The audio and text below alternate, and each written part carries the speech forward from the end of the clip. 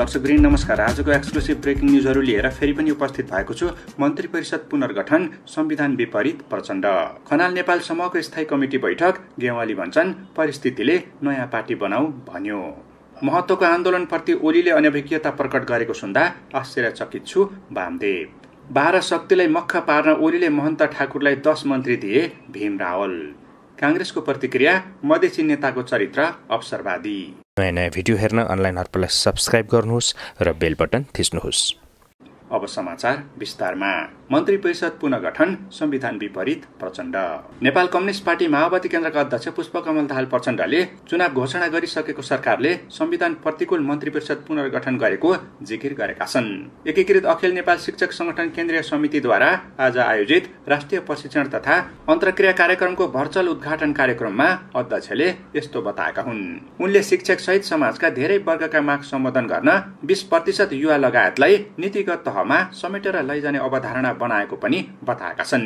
दाहालले संविधान लोकतन्त्र र राष्ट्रिय रक्षाका विषय जनताका बीचमा पुर्याउन शिक्षकलाई आह्वान गरे।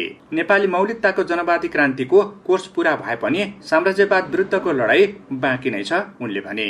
उनले भने समाजवादी क्रान्तिबाट समाजवादका अवशेष समाप्त पार्न कम्युनिस्ट एकता र आन्दोलनबाट मात्र सम्भव छ। उनले कोरोना महामारी विरुद्ध सबै एकताबद्ध भएर जुझ्न पनि अनुरोध गरे। सो अवसरमा संगठनका केन्द्रीय अध्यक्ष शङ्कर अधिकारीले सरकार र राजनीतिक दलले शिक्षाका माग व्यवस्था गरेको आरोप लगाए।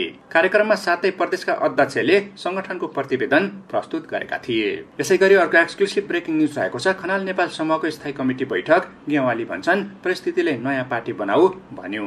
दुई दिने भर्चुअल बैठक पछि परिस्थितिको समीक्षा र नयाँ निचोट निकाल्न नेता झलनाथ खनाल र माधव कुमार नेपाल समूहले स्थायी कमिटी बैठक बोलाएको छ। शनिबार दिउँसो एक बजे स्थायी कमिटी बैठक आह्वान गरिएको युवराज गेवालीले जानकारी दिए। उनका अनुसार बैठक भर्चुअल माध्यमबाट हुनेछ। हामीले दुई दिन केन्द्रीय सदस्यहरूको धारणा सुन्यौं। प्रधानमन्त्री केपी शर्मा ओली पक्षसँग वार्ता छलफल गरिरहेका कमरेडहरूको कुरा पनि सुन्यौं। सबैको कुराको विश्लेषण सुनेर एउटा निष्कर्षमा पुग्नु पर्ने भयो। गेवालीले स्थायी कमिटिको आवश्यकता प्रस्ट्याउँदै भने केन्द्रीय सदस्यहरूको छलफलमा एकता प्रयासलाई जारी राख्ने र नयाँ क्रान्तिकारी चेत सहितको पार्टी निर्माण गरेर जानुपर्ने दुवै कुरा समानान्तर वेगमा उठेको उनको भनाइ थियो। विचार दुवै कोणबाट आएको छ?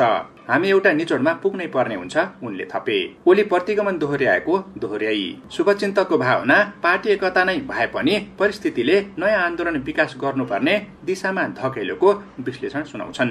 नयाँ पार्टी गठन अपरिहार्य हुँदै गएको उनको निचोड छ। हामीले यस बीचमा एकताको प्रयास नगरेका होइनौ। वार्ता टोली नै बन्यो। कार्यदल बनाएर छलफल गरौँ न त भनेको पनि हो। उनी भन्छन् तर कार्यदल बनेर छलफल भइरहँदा ओलीले प्रतिगमन दोहोऱ्याए। हामीले संसद विघटन प्रतिगमन हो भनेका छौं। उनी ओली आत्मआलोचित भएर नआउँदासम्म वार्ताले निष्कर्ष नदिने बताउँछन्। उहाँ गल्ती सच्याउन तत्पर हुनु पर्यो उनी भन्छन्। संसद विघटन त्रुटि थियो भनेर सच्याउन तयार हुनु पर्यो तब न उनीसँग संवाद हुन सक्छ। यथास्थितिमा संवादको कुनै अर्थ छैन। यसले दिने परिणामको पनि अर्थ छैन। यसै गरी अर्को एक्सक्लुसिभ ब्रेकिङ न्युज रहेको छ। महत्वको आन्दोलनप्रति ओलीले अनभिज्ञता प्रकट गरेको सुन्दा आश्चर्यचकित छु वामदेव नेकपा एमालेको उपाध्यक्ष वामदेव गौतमले जनता समाजवादी पार्टी जसपाका नेता तथा उप प्रधानमन्त्री राजेन्द्र महतोले अहिले पनि सञ्चालन गरिरहेको कथित आन्दोलनले नेपाललाई विखण्डन गर्ने जिकिर गरेका छन्। उनले आज एक वक्तव्य जारी गर्दै महतोले बहुराष्ट्र बनाउने भनेर दिएको अन्तर्वार्ताले आफू दुखी भएको पनि बताएका छन्। नेपाललाई बहुराष्ट्र र बहुराज्य बनाउने मुक्ति आन्दोलन आफूले अहिले पनि सञ्चालन गरिरहेको अन्तर्वार्ता सुन्दा म अत्यन्त दुखी भएको छु। नेपालको संविधानको धारा तीनमा स्पष्ट लेखिएको छ नेपाल अनेकौं विशेषता सहितको राष्ट्र हो। त्यस्तै संविधानको धारा चारमा स्पष्ट भनिएको छ अनेकौं विशेषता सहितको नेपाल राज्य हो। यसको अर्थ हो नेपालमा एउटा मात्र राष्ट्र छ र एउटा मात्र राज्य छ। त्यो नेपाल हो। राजेन्द्र महतोले अहिले पनि सञ्चालन गरिरहेको त्यो कथित आन्दोलन नेपाललाई विखण्डन गर्ने भन्दा अर्को हुन सक्दैन गौतमले भनेका छन्। गौतमले नेपाललाई विघटन गर्ने आन्दोलन कुनै पनि नेपालीका निम्ति स्वीकार्य नहुने पनि बताएका छन्।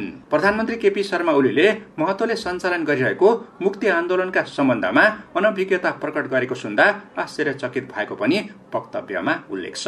राजेन्द्रजीको त्यो मागलाई अस्वीकार र विरोध मात्र गर्न सकिन्छ। प्रधानमन्त्री श्री केपी ओलीले राजेन्द्र महतोले सञ्चालन गरिरहेको मुक्ति आन्दोलनका सम्बन्धमा अनभिज्ञता प्रकट गरेको सुन्दा आश्चर्यचकित भएको छु उनले भनेका छन्। यसै गरी अर्को एक्सक्लुसिभ ब्रेकिङ न्युज रहेको छ। बाह्य शक्तिलाई मख पार्न ओलीले महन्त पक्षलाई दश मन्त्री दिए भीम रावल। नेकपा एमालेका नेता भीम रावलले प्रधानमन्त्री केपी शर्मा ओलीले बाह्य शक्तिलाई खुसी पार्न जसपाको महन्त ठाकुर पक्षलाई दश मन्त्री दिएर सरकारमा सामेल गरेको टिप्पणी गरेका छन्। शनिबार बिहान ट्विट गर्दै रावलले बाह्य शक्तिलाई मख पार्न ओलीले आफूसँग पाँच मन्त्रालय राखेर जसपाको महन्त पक्षलाई धूप बत्ती गर्न सक्ने आफ्नो पाँच दिन अघिको व्यङ्ग्यात्मक ट्विट शुक्रबार मन्त्रीमण्डल पुनर्गठन भएबाट पुष्टि भएको बताएका छन्। प्रम केपीको चरम सत्ता लिप्साका कारण उहाँबाट एकपछि अर्को असंवैधानिक र राष्ट्रघाती कदम भइरहेको र कुर्सी स्वार्थका लागि अनेकौंको कार्य हुँदै आएको तथ्यको आधारमा मैले पाँच दिन अघि उहाँले आफूसँग पाँच मन्त्रालय राखेर बाह्र शक्तिलाई मख पार्न अरू मन्त्रालय जसपाको महन्त पक्षलाई धुपबत्ती गर्न सक्ने कुरा व्यङ्गात्मक रूपमा ट्विट गरेको थिए। त्यसको जेठ एक्काइस गतेको मन्त्री परिषद हेरफेरबाट पुष्टि भयो। उनले लेखेका छन् काम चलाउ प्रधानमन्त्रीको यो कार्य संवैधानिक र लोकतान्त्रिक मान्यता विपरीत र गत आम निर्वाचनमा जनताले दिएको जनादेश विपरीत छ। रावलले ट्विटमा उल्लेख गरेका छन्। देश र जनताले ठूलो मूल्य चुकाएर जारी गरेको संविधान संशोधन गर्न भनी कथित कार्यदल गठन गर्नु राष्ट्रघात र जनघात भएको उनले बताएका छन्। यसमा रहेको लोकतन्त्र घातीहरूको नाम सार्वजनिक होस् रावलको माग छ। प्रधानमन्त्रीले राष्ट्रघाती जनघाती लोकतन्त्र र पार्टीको सिद्धान्त नीति र विधान विपरीतका क्रियाकलापबाट देश जनता र लोकतन्त्रलाई जोगाउन हामीले आवश्यक दृढ पाइला चाल्नुपर्ने परिस्थितिमा पुगेको हो उनले लेखेका छन्। सबै देशभक्त लोकतन्त्रवादी एकजुट भएर देश लोकतन्त्र र जनताको अधिकार र हितको रक्षाका लागि अग्रसर हुन उनको आग्रह छ। यसै गरी अर्को एक्सक्लुसिभ ब्रेकिङ न्युज रहेको छ काङ्ग्रेसको प्रतिक्रिया मधेसी नेताको चरित्र अवसरवादी। नेपाली काङ्ग्रेसका सहमहामन्त्री डाक्टर प्रकाश शरण महतले प्रधानमन्त्री केपी शर्मा ओलीको सत्ताप्रतिको आसक्तिलाई महन्त ठाकुर समूहले अवसरको उपयोग गरेको टिप्पणी गरेका छन्।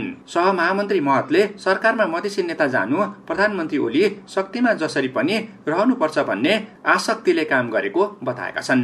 पछिल्लो पटक काम चलाउ सरकारले मन्त्रीमण्डल पुनर्गठन गरेर संविधान कानून मिचेर म जे पनि गर्न सक्छु भन्ने घमण्ड देखिएको नेता महतले बताएका छन्।